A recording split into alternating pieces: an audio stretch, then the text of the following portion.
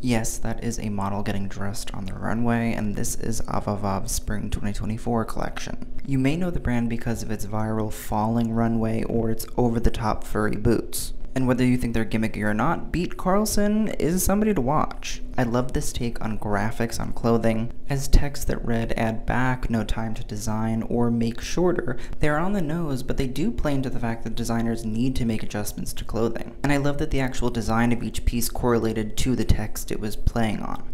But there also was clothes that you could actually wear, like this leather jacket, this fitted black dress, and this floral top with orange jeans and the iconic black lizard toe boots. The finale dress was this duct tape experience that I mean was ridiculous, hobble skirt-esque, and just weird. But it's a show that I don't think I'll forget soon, so what do you all think?